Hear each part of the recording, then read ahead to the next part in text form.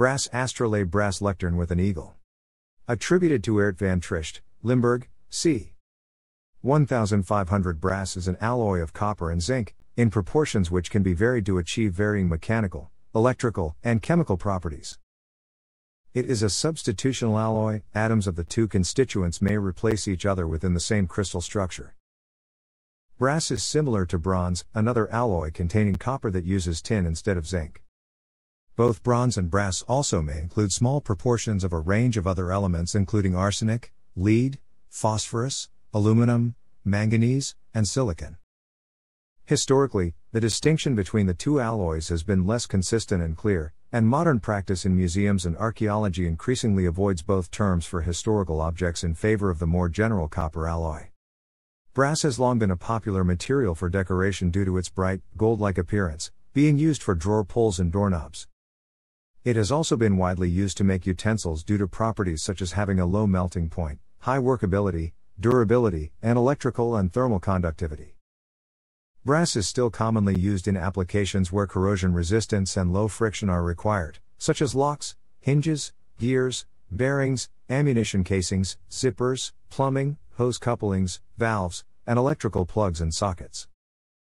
It is used extensively for musical instruments such as horns and bells, and also used as a substitute for copper in making costume jewelry, fashion jewelry, and other imitation jewelry. The composition of brass, generally 66% copper and 34% zinc, makes it a favorable substitute for copper based jewelry, as it exhibits greater resistance to corrosion. Brass is often used in situations in which it is important that sparks not be struck, such as in fittings and tools used near flammable or explosive materials. Microstructure of rolled and annealed brass Brass is more malleable than bronze or zinc. The relatively low melting point of brass and its flow characteristics make it a relatively easy material to cast. By varying the proportions of copper and zinc, the properties of the brass can be changed, allowing hard and soft brasses. The density of brass is 8. 4 to 8. 73 grams cm3. Today, almost 90% of all brass alloys are recycled. Because brass is not ferromagnetic, it can be separated from ferrous scrap by passing the scrap near a powerful magnet. Brass scrap is collected and transported to the foundry, where it is melted and recast into billets. Billets are heated and extruded into the desired form and size. The general softness of brass means that it can often be machined without the use of cutting fluid, though there are exceptions to this. Aluminium makes brass stronger and more corrosion resistant. Aluminium also causes a highly beneficial hard layer of aluminium oxide to be formed on the surface that is thin, transparent, and self healing. Tin has a similar effect and finds its use especially in seawater applications. Combinations of iron, aluminium, silicon, and manganese make brass wear and tear resistant. Notably, the addition of as little as 1% iron to a brass alloy will result in an alloy with a noticeable magnetic attraction. Binary phase diagram brass will corrode in the presence of moisture, chlorides, acetates, ammonia, and certain acids. This often happens when the copper reacts with sulfur to form a brown and eventually black surface layer of copper sulfide, which, if regularly exposed to slightly acidic water such as urban rainwater, can then oxidize in air to form a patina of green blue copper sulfate. Depending on how the sulfide slash sulfate layer was formed, this layer may protect the underlying brass from further damage. Although copper and zinc have a large difference in electrical potential, the resulting brass alloy does not experience internalized galvanic corrosion because of the absence of a corrosive environment within the mixture. However, if brass is placed in contact with a more noble metal such as silver or gold in such an environment, the brass will corrode galvanically, conversely. If brass is in contact with a less noble metal such as zinc or iron, the less noble metal will corrode and the brass will be protected. To enhance the machinability of brass, lead is often added in concentrations of around 2%.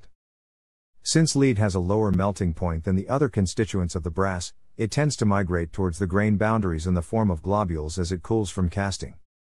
The pattern the globules form on the surface of the brass increases the available lead surface area, which in turn affects the degree of leaching.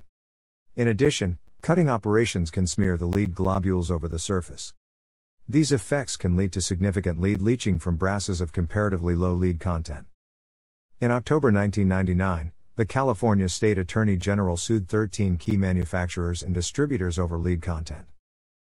In laboratory tests, state researchers found the average brass key, new or old, exceeded the California Proposition 65 limits by an average factor of 19, assuming handling twice a day.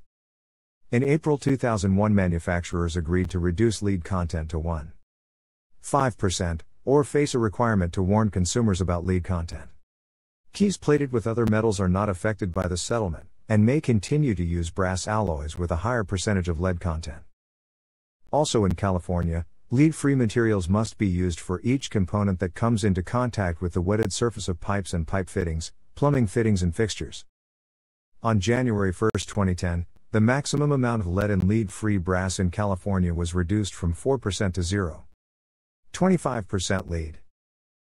Brass sampling cock with stainless steel handle dezincification resistant brasses, sometimes referred to as CR brasses, are used where there is a large corrosion risk and where normal brasses do not meet the requirements. Applications with high water temperatures, chlorides present or deviating water qualities play a role. DZR brass is excellent in water boiler systems. This brass alloy must be produced with great care, with special attention placed on a balanced composition and proper production temperatures and parameters to avoid long term failures. An example of DZR brass is the C352 brass, with about 30% zinc, 61 to 63% copper, 1. 7 to 2. 8% lead, and 0. 02 to 0. 15% arsenic. The lead and arsenic significantly suppress the zinc loss. Red brasses, a family of alloys with high copper proportion and generally less than 15% zinc, are more resistant to zinc loss. One of the metals called red brass is 85% copper, 5% tin, 5% lead, and 5% zinc. Copper alloy C23000, which is also known as red brass, contains 84 to 86% copper, 0. 0.5% each iron and lead, with the balance being zinc. Another such material is gunmetal, from the family of red brasses. Gunmetal alloys contain roughly 88% copper, 8 to 10% tin, and 2 to 4% zinc. Lead can be added for ease of machining or for bearing alloys. Naval brass, for use in seawater, contains 40% zinc but also 1% tin. The tin addition suppresses zinc leaching. The NSF International requires brasses with more than 15% zinc, used in piping and plumbing fittings, to be dezincification resistant.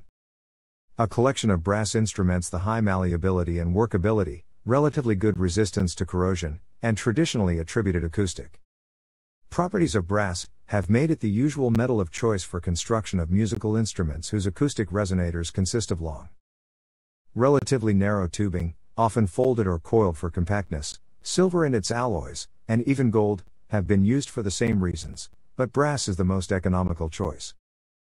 Collectively known as brass instruments, these include the trombone, tuba, trumpet, cornet, baritone horn, euphonium, tenor horn, and French horn, and many other horns, many in variously sized families, such as the sax horns. Other wind instruments may be constructed of brass or other metals, and indeed most modern student model flutes and piccolos are made of some variety of brass, usually a cupronickel alloy similar to nickel silver slash German silver. Clarinets, especially low clarinets such as the contrabass and subcontrabass, are sometimes made of metal because of limited supplies of the dense, fine grained tropical hardwoods traditionally preferred for smaller woodwinds. For the same reason, some low clarinets, bassoons, and contrabassoons feature a hybrid construction, with long, straight sections of wood, and curved joints, neck, and or bell of metal. The use of metal also avoids the risks of exposing wooden instruments to changes in temperature or humidity, which can cause sudden cracking. Even though the saxophones and sarrusophones are classified as woodwind instruments, they are normally made of brass for similar reasons, and because they're wide. Conical bores and thin walled bodies are more easily and efficiently made by forming sheet metal than by machining wood. The keywork of most modern woodwinds, including wooden bodied instruments, is also usually made of an alloy such as nickel silver slash German silver. Such alloys are stiffer and more durable than the brass used to construct the instrument bodies, but still workable with simple hand tools, a boon to quick repairs. The mouthpieces of both brass instruments and, less commonly, woodwind instruments are often made of brass among other metals as well. Next to the brass instruments, the most notable use of brass in music is in various percussion instruments, most notably cymbals, gongs, and orchestral bells. Small handbells and jingle bell are also commonly made of brass. The harmonica is a free reed aerophone, also often made from brass. In organ pipes of the reed family, brass strips are used as the reeds, which beat against the shallot. Although not part of the brass section, snare drums are also sometimes made of brass. Some parts on electric guitars are also made from brass, especially inertia blocks on tremolo systems for its tonal properties, and for string nuts and saddles for both tonal properties and its low friction. The bactericidal properties of brass have been observed for centuries, particularly in marine environments where it prevents biofouling. Depending upon the type and concentration of pathogens and the medium they are in, brass kills these microorganisms within a few minutes to hours of contact. A large number of independent studies confirm this antimicrobial effect, even against antibiotic resistant bacteria such as MRSA and VRSA. The mechanisms of antimicrobial action by copper and its alloys, including brass, are a subject of intense and ongoing investigation. Cracking in brass caused by ammonia attack brass is susceptible to stress corrosion cracking, especially from ammonia or substances containing or releasing ammonia. The problem is sometimes known as season cracking after it was first discovered in brass cartridges used for rifle ammunition during the 1920s in the British Indian Army. The problem was caused by high residual stresses from cold forming of the cases during manufacture, together with chemical attack from traces of ammonia in the atmosphere. The cartridges were stored in stables and the ammonia concentration rose during the hot summer months, thus initiating brittle cracks. The problem was resolved by annealing the cases and storing the cartridges elsewhere. Other phases than alpha, beta, and gamma are epsilon, a hexagonal intermetallic CuZn3, and eta, a solid solution of copper and zinc. Although forms of brass have been in use since prehistory, its true nature as a copper zinc alloy was not understood until the post medieval period because the zinc vapor which reacted with copper to make brass was not recognized as a metal. The King James Bible makes many references to brass to translate nechosheth from Hebrew to Archaic English. The Shakespearean English use of the word brass can mean any bronze alloy, or copper, an even less precise definition than the modern one. The earliest brasses may have been natural alloys made by smelting zinc rich copper ores. By the Roman period, brass was being deliberately produced from metallic copper and zinc minerals using the cementation process, the product of which was calamine brass, and variations on this method continued until the mid 19th century. It was eventually replaced by speltering, the direct alloying of copper and zinc metal, which was introduced to Europe in the 16th century. Brass has sometimes historically been referred to as yellow copper. In West Asia and the Eastern Mediterranean, early copper zinc alloys are now known in small numbers from a number of 3rd millennium BC sites in the Aegean, Iraq, the United Arab Emirates, Kalmykia, Turkmenistan, and Georgia, and from 2nd millennium BC sites in West India, Uzbekistan, Iran, Syria, Iraq, and Canaan. However, isolated examples of copper zinc alloys are known in China from as early as the 5th millennium BC. The compositions of these early brass Objects are highly variable and most have zinc contents of between 5% and 15% weight, which is lower than in brass produced by cementation. These may be natural alloys manufactured by smelting zinc rich copper ores in redox conditions. Many have similar tin contents to contemporary bronze artifacts, and it is possible that some copper zinc alloys were accidental and perhaps not even distinguished from copper. However, the large number of copper zinc alloys now known suggests that at least some were deliberately manufactured, and many have zinc contents of more than 12% weight, which would have resulted in a distinctive golden color. By the 8th 7th century BC, Assyrian cuneiform tablets mention the exploitation of the copper of the mountains, and this may refer to natural brass. Oreikhalkon, the ancient Greek translation of this term, was later adapted to the Latin aurichalcum, meaning golden copper, which became the standard term for brass. In the 4th century BC, Plato knew orichalkos as rare and nearly as valuable as gold, and Pliny describes how orichalcum had come from Cypriot. Ore deposits which had been exhausted by the 1st century AD. X ray fluorescence analysis of 39 orichalcum ingots recovered from a 2.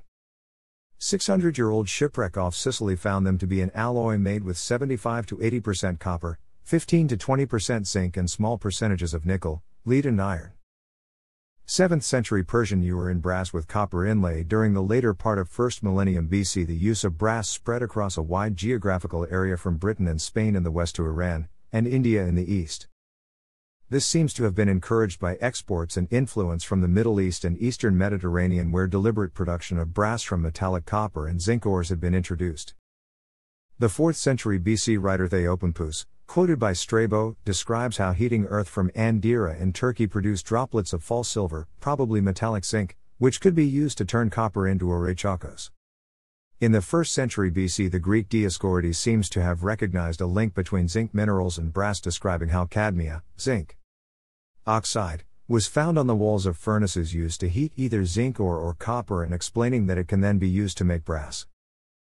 By the 1st century BC, brass was available in sufficient supply to use as coinage in Phrygia and Bithynia, and after the Augustan currency reform of 23 BC, it was also used to make Roman dupondii and sestertii.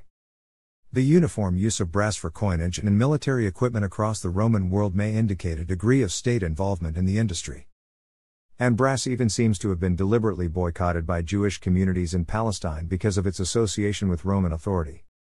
Brass was produced by the cementation process where copper and zinc ore are heated together until zinc vapor is produced, which reacts with the copper. There is good archaeological evidence for this process, and crucibles used to produce brass by cementation have been found on Roman period sites, including Xanten and Nidda in Germany, Lyon in France, and at a number of sites in Britain. They vary in size from tiny acorn size to large amphorae like vessels, but all have elevated levels of zinc on the interior and are lidded. They show no signs of slag or metal prills, suggesting that zinc minerals were heated to produce zinc vapor, which reacted with metallic copper in a solid state reaction. The fabric of these crucibles is porous, probably designed to prevent a buildup of pressure, and many have small holes in the lids which may be designed to release pressure or to add additional zinc minerals near the end of the process. Dioscorides mentioned that zinc minerals were used for both the working and finishing of brass, perhaps suggesting secondary additions. Brass made during the early Roman period seems to have varied between 20% and 28% weight zinc. The high content of zinc in coinage and brass objects declined after the 1st century AD, and it has been suggested that this reflects zinc loss during recycling and thus an interruption in the production of new brass. However, it is now thought this was probably a deliberate change in composition, and overall the use of brass increases over this period, making up around 40% of all copper alloys used in the Roman world by the 4th century AD. Baptism of Christ on the 12th century baptismal font at St. Bartholomew's Church. Liège little is known about the production of brass during the centuries immediately after the collapse of the Roman Empire. Disruption in the trade of tin for bronze from Western Europe may have contributed to the increasing popularity of brass in the East, and by the 6th 7th centuries AD, over 90% of copper alloy artifacts from Egypt were made of brass. However, other alloys such as low tin bronze were also used, and they vary depending on local cultural attitudes, the purpose of the metal, and access to zinc, especially between the Islamic and Byzantine world. Conversely, the use of true brass seems to have declined in Western Europe during this period in favor of gunmetals and other mixed alloys, but by about 1,000 brass artifacts are found in Scandinavian graves in Scotland. Brass was being used in the manufacture of coins in Northumbria, and there is archaeological and historical evidence for the production of calamine brass in Germany and the Low Countries, areas rich in calamine ore. These places would remain important centers of brass making throughout the medieval period, especially Dinant. Brass objects are still collectively known as dinanderie in French. The baptismal font at St. Bartholomew's Church, Liège in modern Belgium is an outstanding masterpiece of Romanesque brass casting, though also often described as bronze. The metal of the early 12th century Gloucester candlestick is unusual even by medieval standards in being a mixture of copper, zinc, tin, lead, nickel, iron, antimony, and arsenic with an unusually large amount of silver, ranging from 22 5% in the base to 5. 76% in the pan below the candle. The proportions of this mixture may suggest that the candlestick was made from a hoard of old coins, probably late Roman. Latten is a term for decorative borders and similar objects cut from sheet metal, whether of brass or bronze. Aquamanilies were typically made in brass in both the European and Islamic worlds. Brass aquamanili from Lower Saxony, Germany, c. 1250 The cementation process continued to be used, but literary sources from both Europe and the Islamic world seem to describe variants of a higher temperature liquid process which took place in open topped crucibles. Islamic cementation seems to have used zinc oxide known as tutia or tutty rather than zinc ores for brass making, resulting in a metal with lower iron impurities. A number of Islamic writers and the 13th century Italian Marco Polo describe how this was obtained by sublimation from zinc ores and condensed onto clay or iron bars, archaeological examples of which have been identified at Kush in Iran. It could then be used for brass making or medicinal purposes. In 10th century Yemen al-Hamdani described how spreading al-iqlimiya, probably zinc oxide, onto the surface of molten copper produced tutia vapor which then reacted with the metal. The 13th century Iranian writer al Kashani describes a more complex process whereby tutia was mixed with raisins and gently roasted before being added to the surface of the molten metal. A temporary lid was added at this point, presumably to minimize the escape of zinc vapor. In Europe, a similar liquid process in open topped crucibles took place, which was probably less efficient than the Roman process, and the use of the term tutty by Albertus Magnus in the 13th century suggests influence from Islamic technology. The 12th century German monk Theophilus described how preheated crucibles were one sixth filled with powdered calamine and charcoal, then topped up with copper and charcoal before being melted, stirred, then filled again. The final product was cast, then again melted with calamine.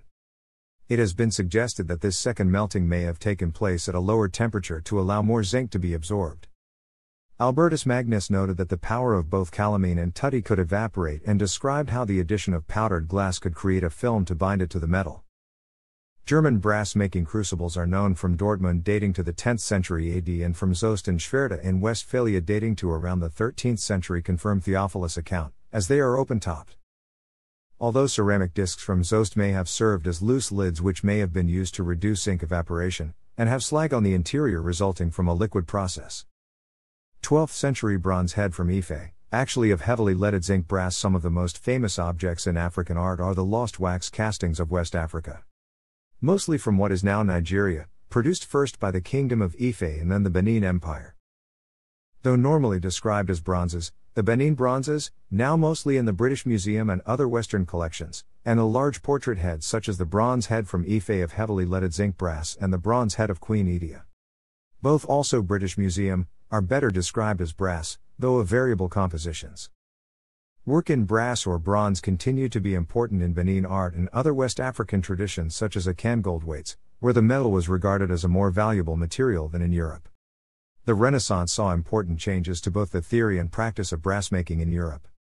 By the 15th century, there is evidence for the renewed use of lidded cementation crucibles at Zwickau in Germany. These large crucibles were capable of producing c. 20 kilograms of brass. There are traces of slag and pieces of metal on the interior. Their irregular composition suggests that this was a lower temperature, not entirely liquid, process. The crucible lids had small holes which were blocked with clay plugs near the end of the process, presumably to maximize zinc absorption in the final stages. Triangular crucibles were then used to melt the brass for casting. 16th century technical writers such as Biringuccio, Ercker, and Agricola described a variety of cementation brass making techniques and came closer to understanding the true nature of the process, noting that copper became heavier as it changed to brass and that it became more golden as additional calamine was added.